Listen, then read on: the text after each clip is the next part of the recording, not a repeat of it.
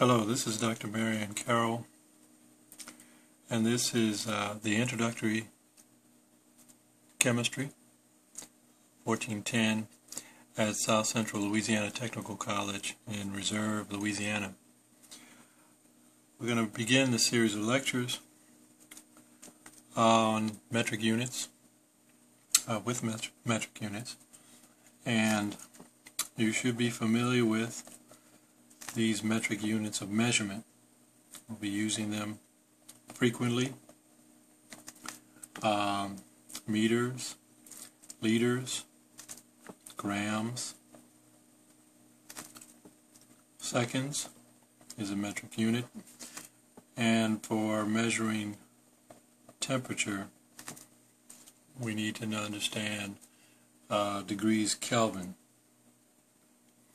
and um, the calculation to get degrees Kelvin is to take our degrees Celsius and add 273. Uh, if we're converting from uh, Celsius to Fahrenheit, we tend really not to do that very often we take the degrees Celsius times 9 fifths plus 32 degrees to get uh, Fahrenheit. Or if we want to go from Fahrenheit to Celsius it's Fahrenheit minus 32 times 5 ninths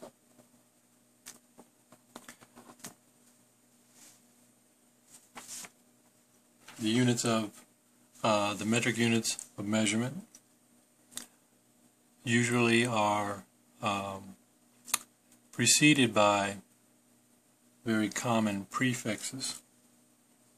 Uh, for instance, uh, mega, not very often used, but it refers to 10 to the 6 or a million. So if I say um, mega liter, I'm saying I have 1 million or 10 to the 6 liters. Okay. And that's how these prefixes are used. Uh, more typically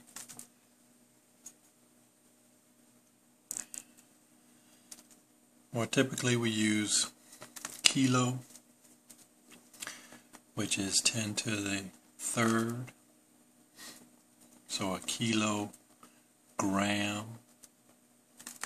is actually 10 to the third or 1,000 grams.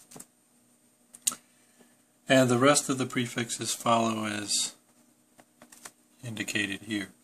We have a deci, which is equivalent to a tenth, 0.1, uh, centi, which is equivalent to a 1 and 1 over a 100, or 0.01. We have uh, milli,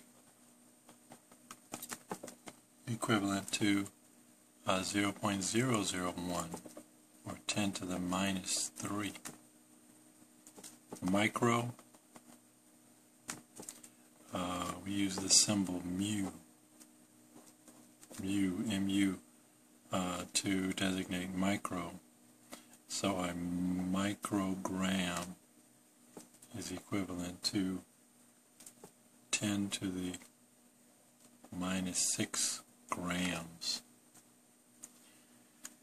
And uh, the last two, nano, is equivalent to 10 to the minus 9 and pico is 10 to the minus 12. So these are common prefixes that go uh, prior to uh, measurements like meters, liters, and uh, grams in particular. Uh, doing a conversion, so we can use these units to convert. Uh, we have a table that helps us to uh, identify how many inches are in a centimeter.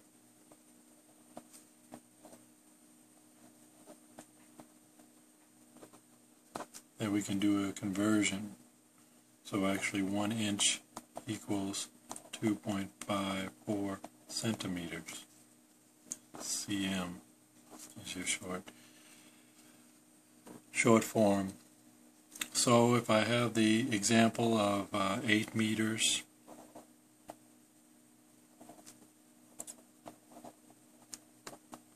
And I want to express that in inches. Inches. I set up a grid where 8 meters I want to convert to centimeters. Because remember we want to end in inches so we know that one centimeter as I've indicated here uh, is equivalent to two um, actually is equivalent to 10 to the minus 2 meters. And we can get that from up here. This is equal to 10 to the minus 2 so a centimeter is 10 to the minus 2 meters. So now my meters cancel out, and when I do my multiplication and division, I'll have centimeters. But I want to get inches, so now I have to convert my centimeters to inches. And as I said here, we indicated one inch is equivalent to 2.54 centimeters. My centimeters cancel in this grid and I end up with inches my, as my answer. And when I do the multiplication and the division, I end up with 315 inches. And so 315 inches is equivalent to 8.0 meters. So we'll be doing similar conversions like this uh, as we as we move on. Uh, something a little more relevant is, for instance, we want to convert, um, let's say, 10 grams and we want to know how many milligrams that is. Okay, so we set up a similar grid and we know that there is 1,000 milligrams per gram. My grams cancel out I equal milligrams. 10 times a thousand is 10,000 milligrams or 10 to the minus 4 milligrams as the uh, sorry plus 4 as the exponent exponential form of 10,000 10 to the positive 4 milligrams all right. There are some rules involving values, numbers, that we should be familiar with. Uh, these rules involve what are called significant figures. Okay stay tuned for um, the second part of this lecture where we will talk about significant figures.